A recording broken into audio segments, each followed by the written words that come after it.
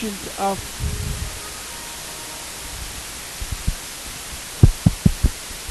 没有。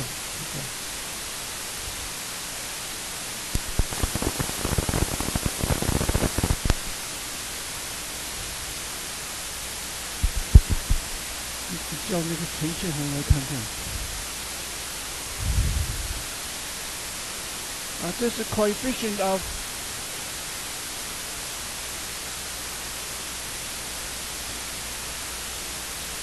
of performance。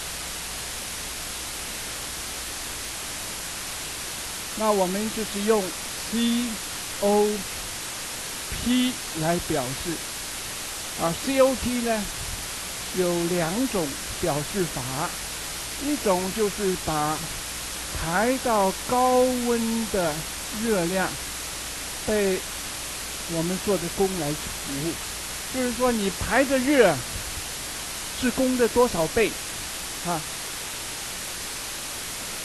当然你越越多越好，啊，越多越好。你功花的越少，那么你的呃排出去的越越多，那么这就是越好。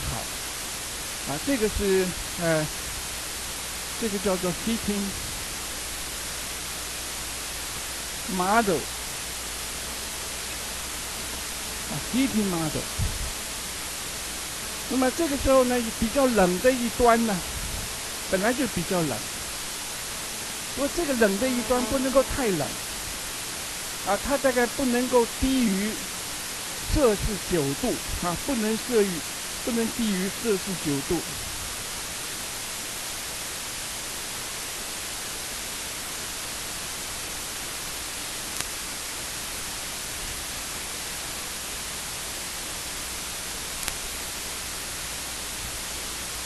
较冷一端的温度要大于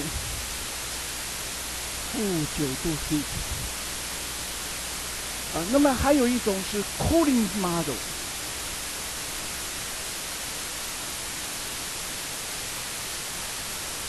Cooling model，COP 要等于 QC over W，就说你那个从冷的这一端呢，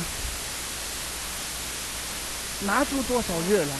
啊，这是这个，比上你输入的功，你拿的越多，那么这个屋子里，呃，冷却的速度就越快。啊，那么这个是呃 heating model。那么这个时候 COP 的值啊，通常是在五跟六之间，啊，在呃，这 COP 的值是五跟六，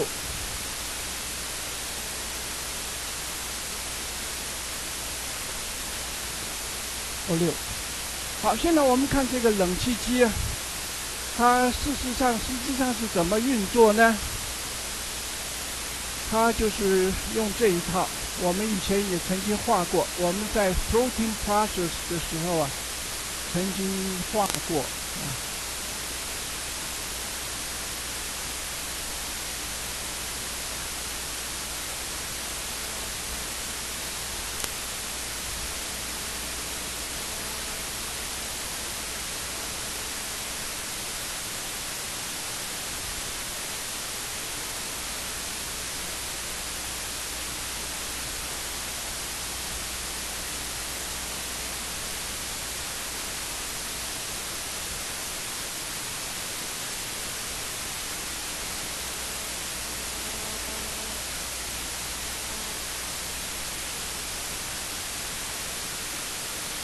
好，那么这个是装有很容易挥发的一种液体。啊，当我们压缩这个 piston 的时候呢，液体从这里压缩进去。啊，这个气体啊，气体压缩进去，因为压缩的很厉害，它就变成液体，那么温度就升高。温度，呃，升高以后啊，那我们就从这个地方有。一些管子哈，把这个热量把它带走，啊，热量带走，OK。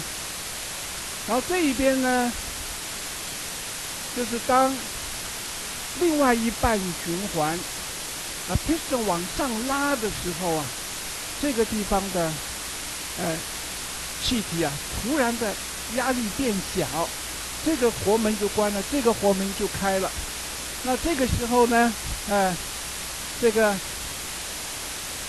这里本来是高温的液态了，一下子就从这个地方喷过来，就变成这个气态，哈，啊，就温度降低，它温度降的比这个地方还要低，啊，所以呢，它就把热量吸进来，所以我们看这个温度啊。热量始终是从高温流往低温，啊，那么我们这里呢，哎，怎么会从低温到高温呢？它就是利用这个原理，在这个地方产生的温度比外界还要高，所以温度热量从这里出去，在这个区域呢，里面产生的温度啊，比外面还要低。所以这个里头的温的热量就被吸收了，OK，啊，这个是呃冷气机的一个工作原理。啊，我们现在呃做一个例题看看哈。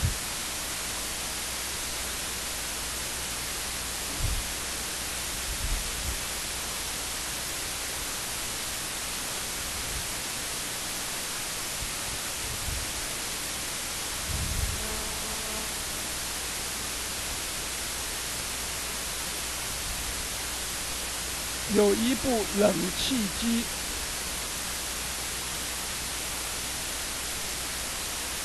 它的 COP 值是等于五点零。啊，它冷冻机的功率，啊，冷冻机的功率。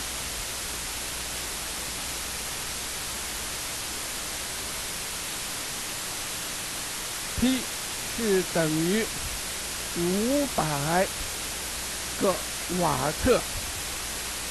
那么现在我们要在，呃，我们现在要把五百克，啊，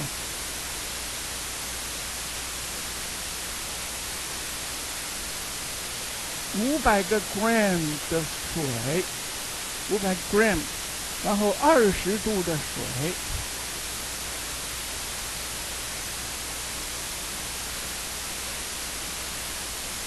啊，冷降到零度 C，啊，虚实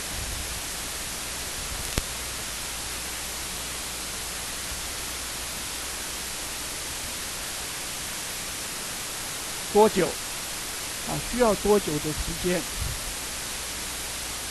好，那么呃，我们现在怎么做呢？我们现在就，它就是等于在温度低的地方抽热哈，就抽热抽出去，OK。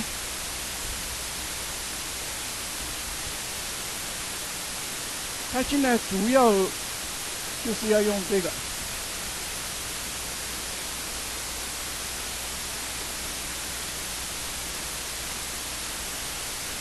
主要要用这个式子。那首先我们就看这个 QC 呀，你从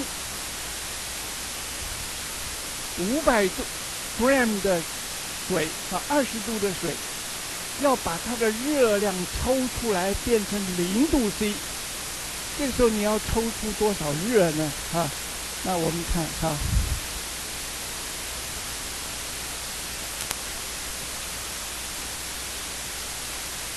抽出。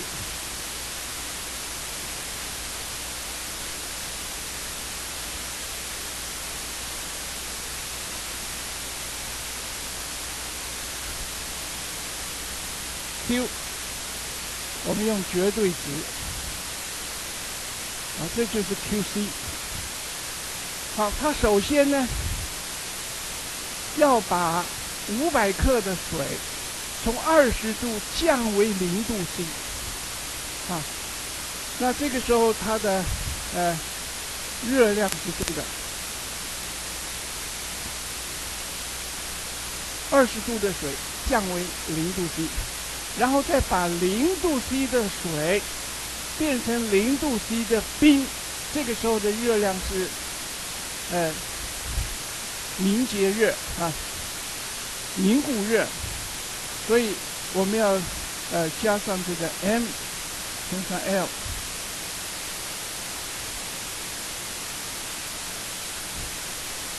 好，那么我们现在可以把这个呃 m 提出来，里头就是 c delta t 加上 L。好，我们把这些数字带进去。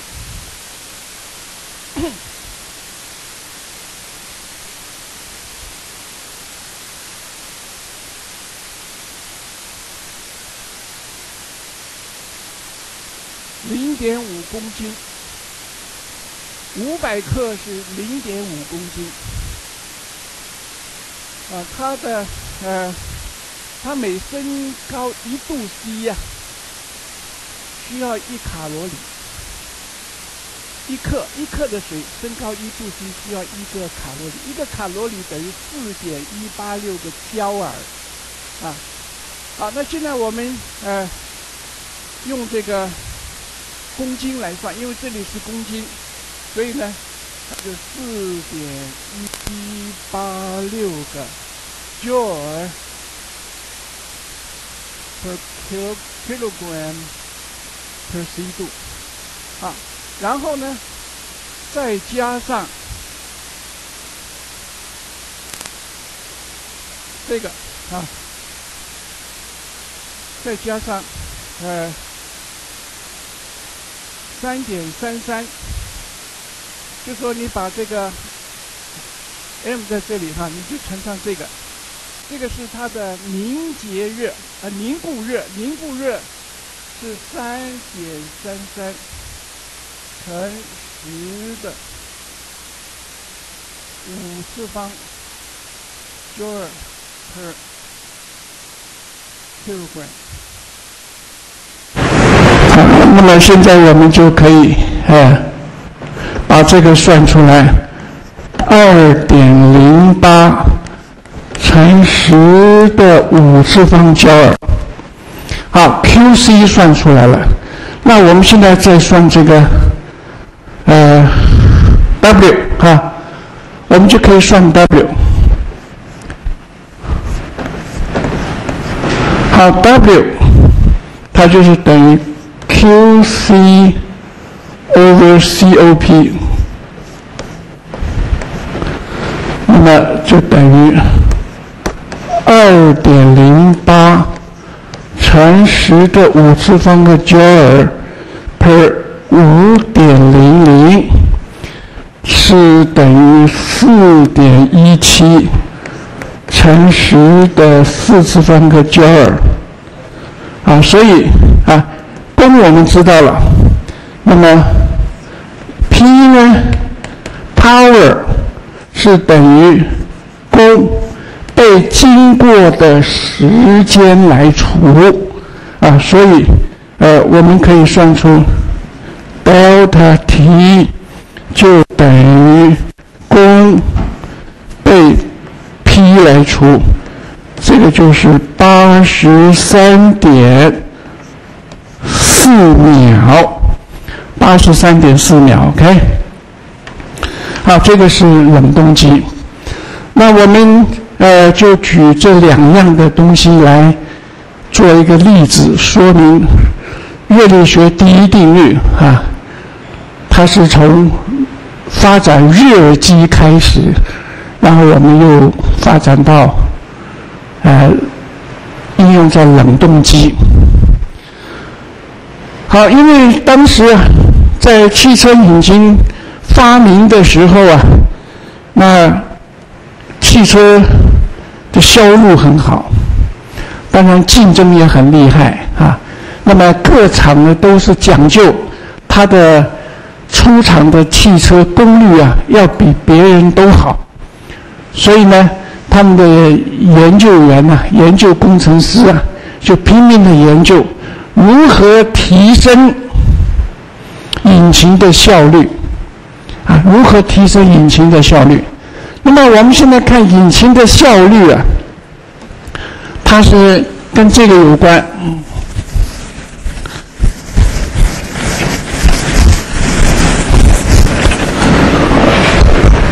引擎的 efficiency，我们上次说过，它是一减掉 Q Q C over Q H。啊，它最好最好的引擎就是一了，这个地方要等于零啊，啊等于零，好等于零的话就表示它这个热机啊效率是百分之百。那你怎么可能让这个区域等于零呢？有两种方法，一个就是把 QC 呀降为零，就是说你这个引擎呢只吸热，然后把热全部变成功，没有热量排出来，那这个就是最好的引擎啊，效率等于一啊。第二种方法呢，就是我尽量的提高。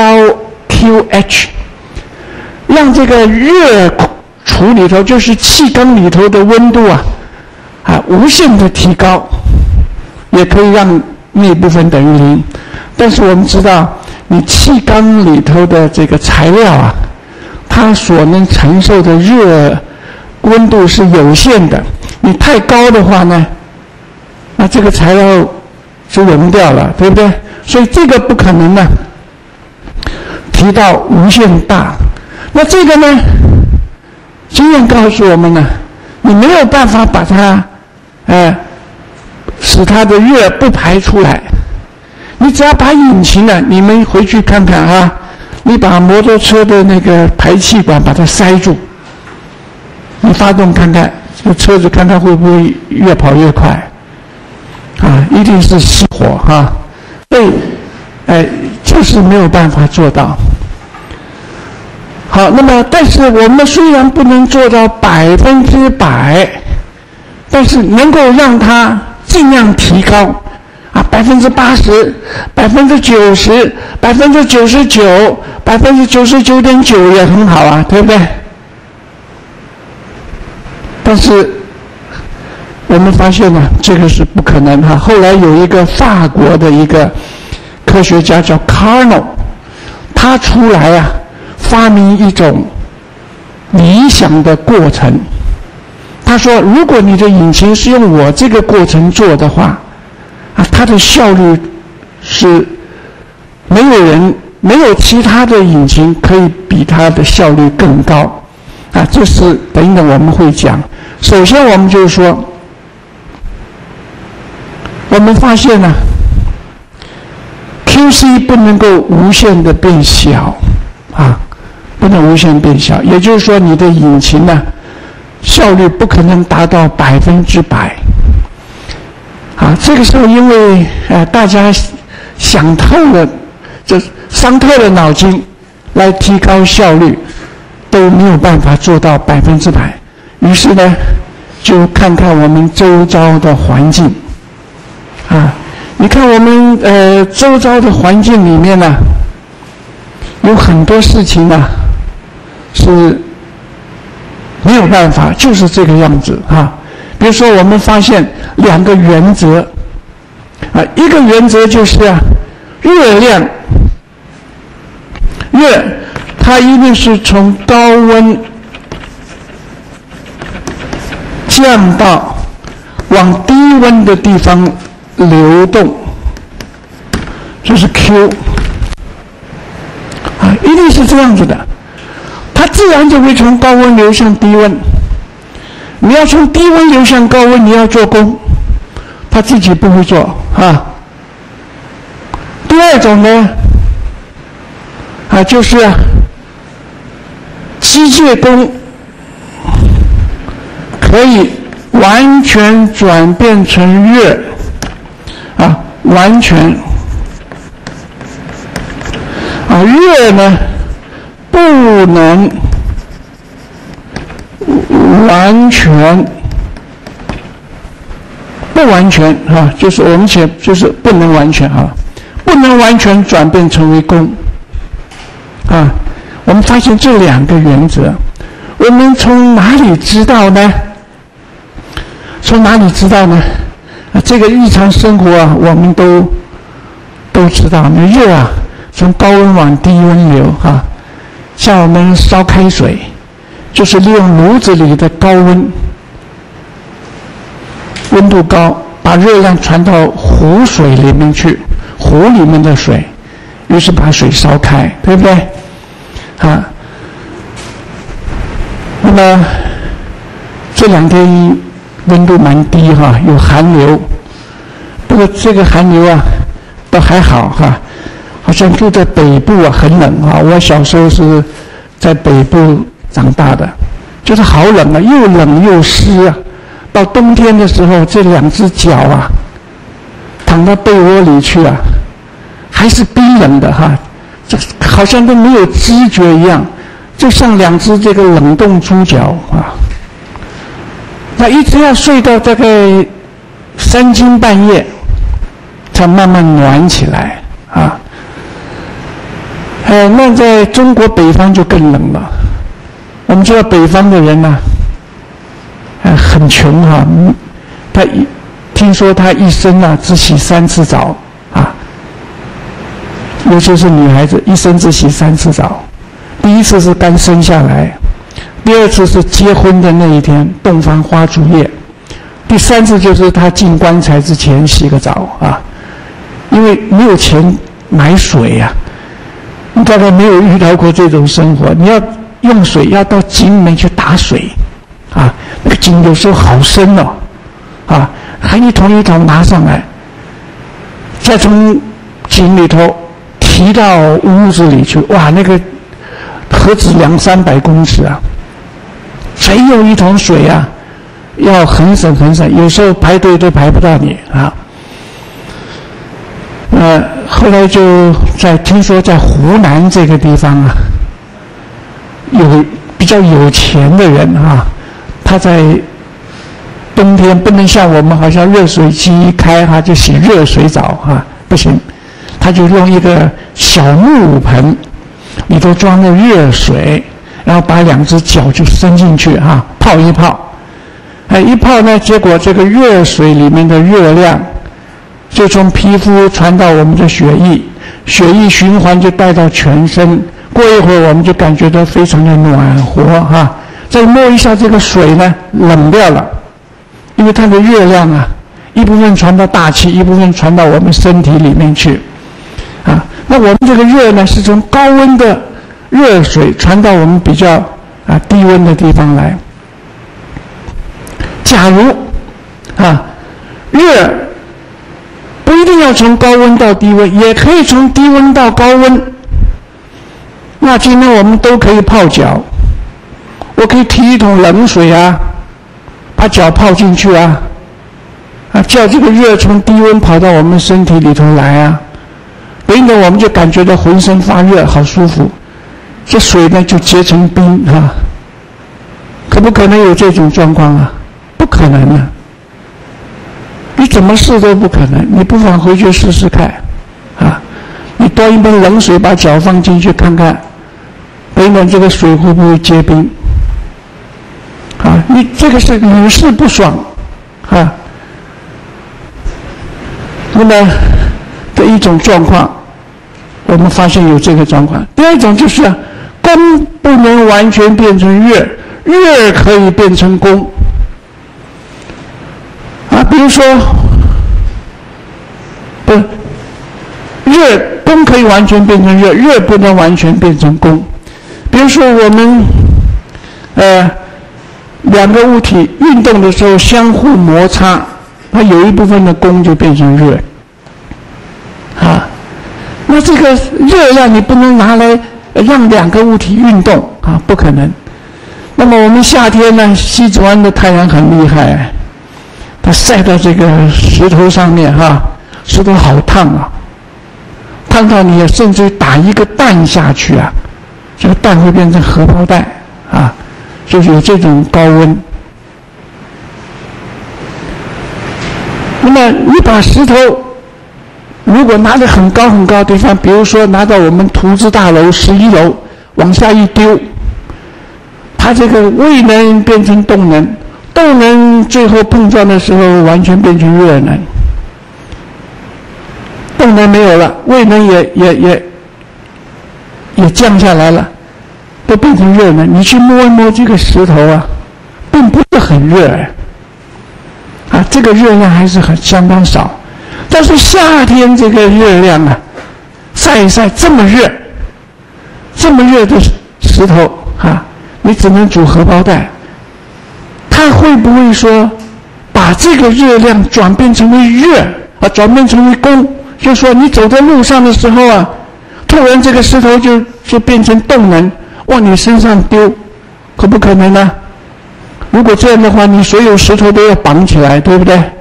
万一你走到旁边，它往你身上运动怎么办呢？有没有这个事情发生呢？从来、从来、从来没有过，啊！因此呢，像这样的东西，我们看的很多，啊，所以呢，呃，我们就说热不能完全变成功，功可以完全变成热。我们把这两个再把它综合起来啊，就一个现象，就是说我们在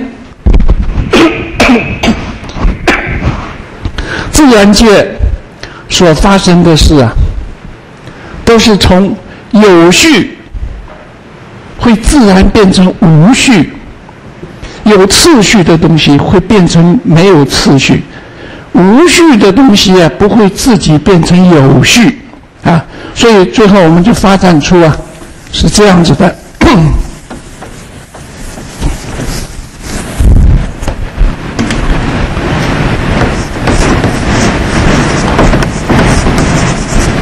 有序可以变成无序，无序呢不能够。自然变成有序。比如说，我们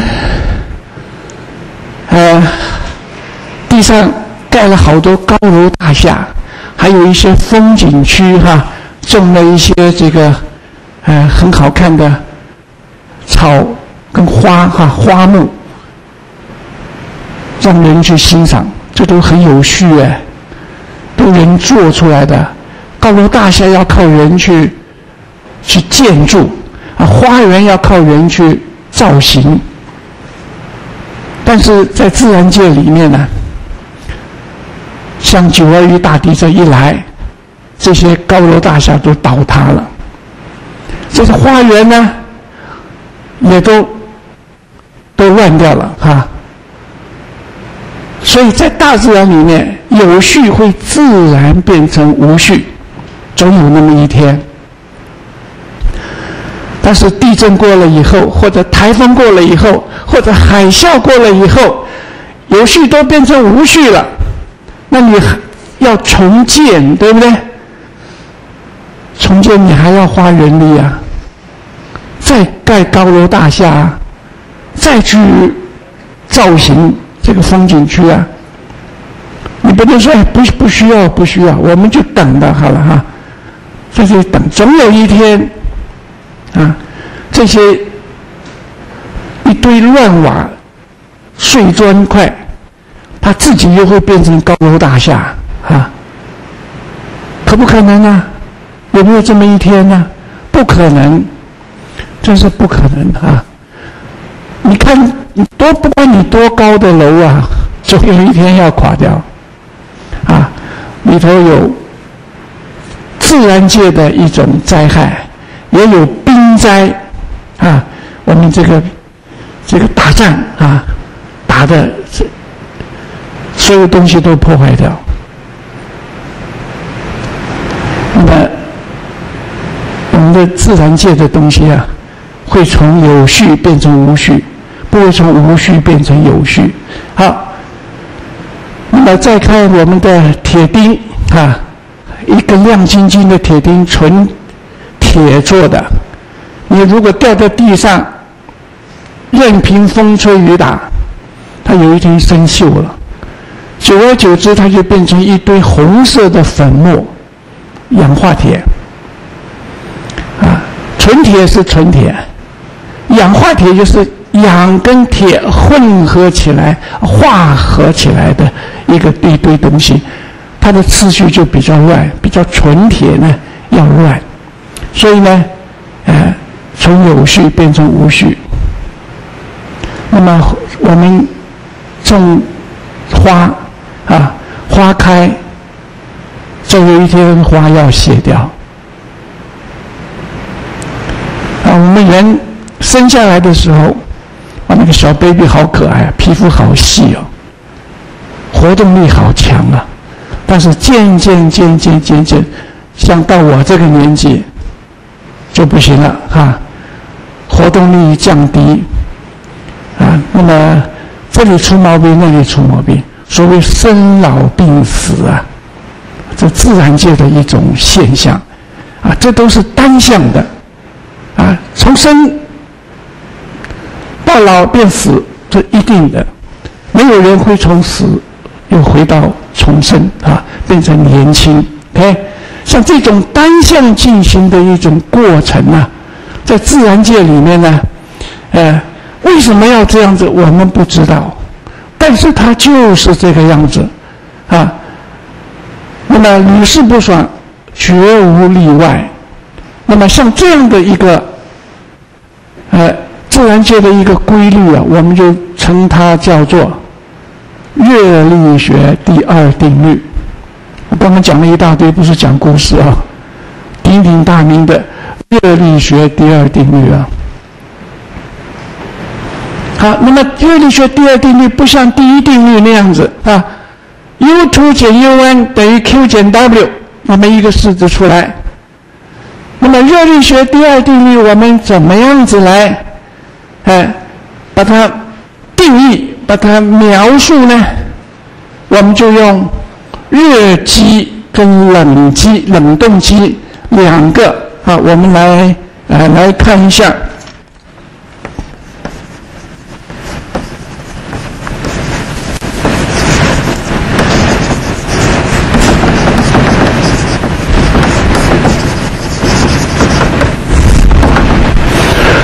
好，我们首先看，啊，第一种说法就有一种说法是，我们没有办法发明一种热机，它只单从单一的温度之下把热量提出来，完全转变成为热啊。那我们可以画出一个热机，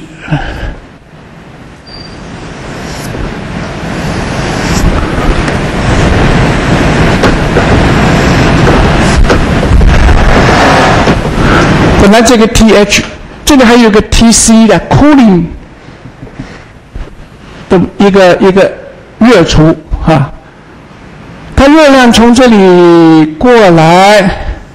应该有一部分排到这里哈，然后一部分做工。但现在呢，你说我们没有办法做这样的一个机器，它呢只从单一的温度之下把热量提出来，呃，把热量拿来转变成为功，这个是不可能。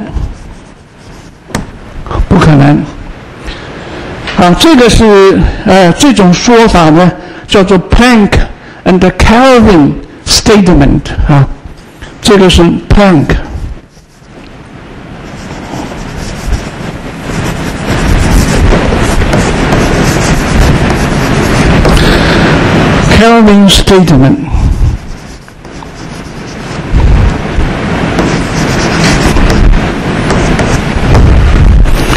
这两个人的说法。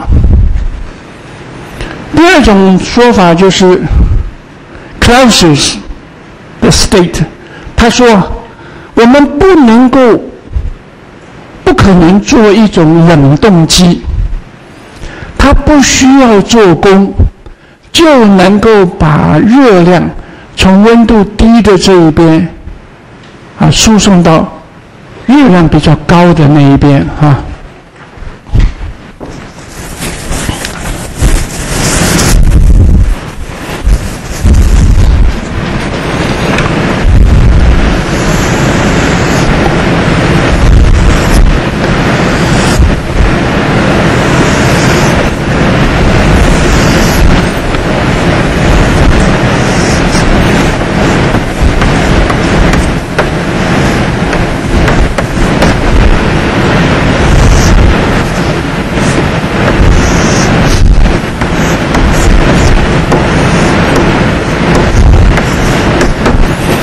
不需要做功，就把热从比较低的地方吸进去，然后把它送到比较高温的地方去。啊，我们可以这么写啊，你写这个都没有问题啊，你加个 H 也可以哈。嘿，好，这个是呃谁说的呢？Clausius 啊。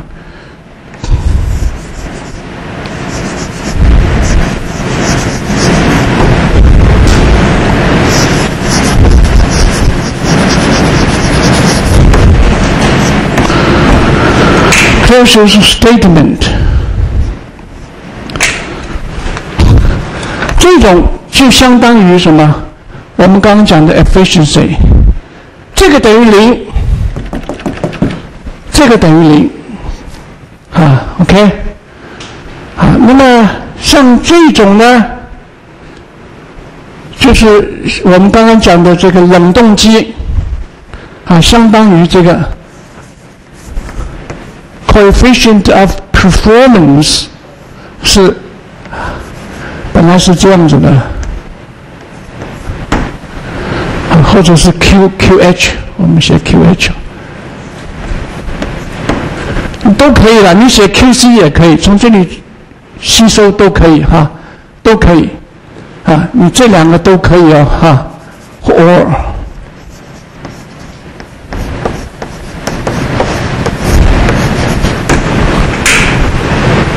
W 等于零，就是我，假如我今天发明一个冷气机，我做广告，说你只要把我这个冷气机买回去啊，摆在窗户旁边一装，不需要插电啊，它就能够让你屋子里很凉爽，或者冬天的时候，它就会让你屋子里很温暖。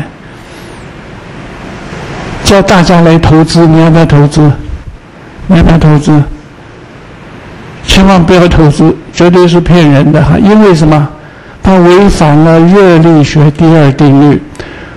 只要违反这两个，这第二定律就是不可能。为什么不可能？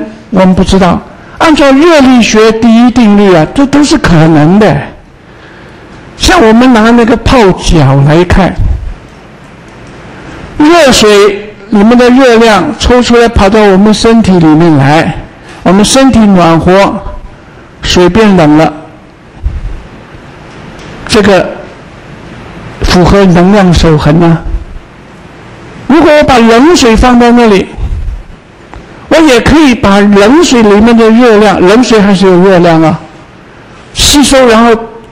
到我们身体里头来，我们觉得暖和，水呢就结冰。在热力学，在在这个热力学第一定律来说啊，都对，没有说不对，但是就是不发生，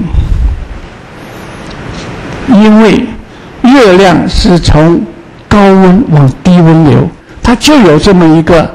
呃，自然的规则在那里，因此呢，就不可能发生。OK，啊，这就是热力学第二定律。啊，热力学第二定律。那么，正在大家有了热力学第二定律的时候啊，那么就不再伤脑筋。如何做一个引擎热机？它的引擎会是百分之百不再伤这个脑筋，但是还在伤脑筋。我要比别人好啊！我虽然不能到百分之百，我希望他到达百分之九十九。正在争论的时候啊，法国的一个科学家卡诺啊，很年年轻哦，三十几岁。后来他不幸啊，呃，瘟疫啊，死掉了啊。他说他有一种，嗯，他有一种过程啊。我们现在讲 Carnot engine。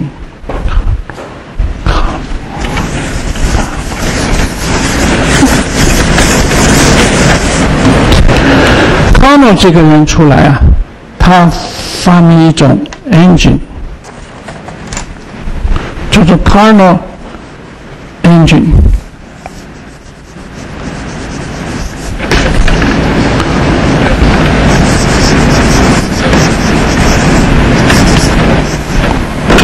Carno engine，那么它是用它的 cycle 啊，叫做 Carnot cycle。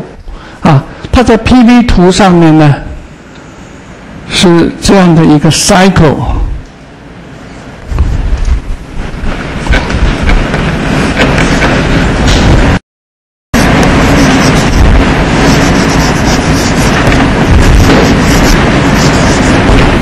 它是两个等温跟两个绝热过程构成的哈。比如说，这个是等温。啊，T H T C，好，另外有两个绝热，红色是绝热啊，绝热，然后呢，它这样跑的时候是热机，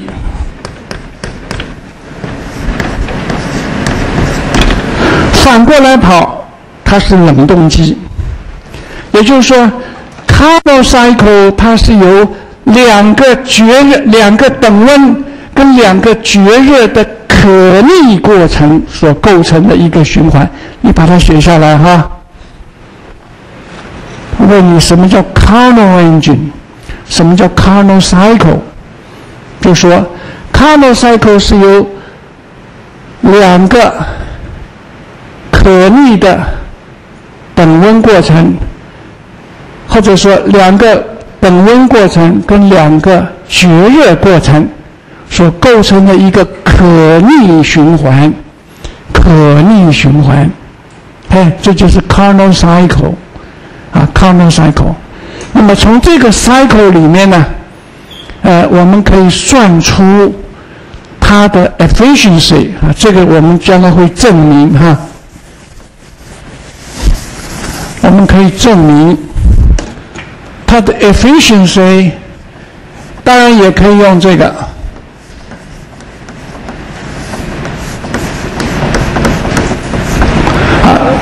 我们可以证明它是等于一减 T C over 一减掉 T H。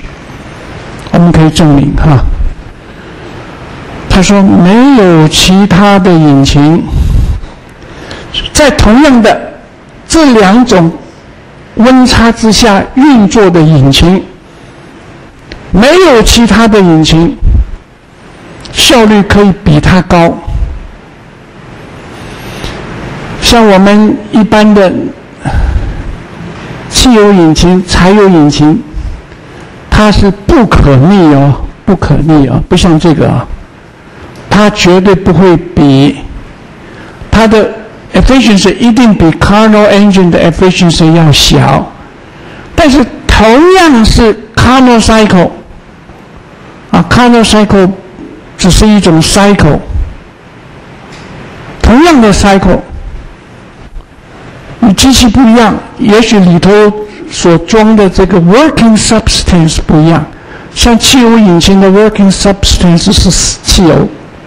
柴油引擎的 working substance 是柴油，啊，只要是 Carnot engine，不管你用什么样的一个一个一个 working substance，只要是在 T 同样的 TH 跟同样 TC 的温差之下运作的话，efficiency 都一样，谁也不会比谁高，谁也不会比谁高，OK，这是呃它的一个特色，你要记得它的特色啊。Carnot engine，记两个等温、两个绝热过程所构成的可逆循环。第二个，efficiency 等于这个。第三点记住，没有其他的，就只要在相同的 TH 跟 TC 温差下运转，没有其他的 engine 效率可以比它更高。了不起，跟它一样，那就是也是 Carnot cycle。如果你不是 Carnot cycle，就是不是可逆的话，效率一定比它低啊！这个要记起来哈，这是这是 Carnot engine，OK？Carnot engine。好，我们今天就上到这里，下一次我就跟各位证明这个。啊，证明这个，然后再说明为什么别人的引擎呢不能够比它更高。然后我们再谈到另外一个啊一个问题，就是有一个量叫做 entropy，entropy 哈，这个跟热力学第二定律有息息相关的一个东西哈。好，我们。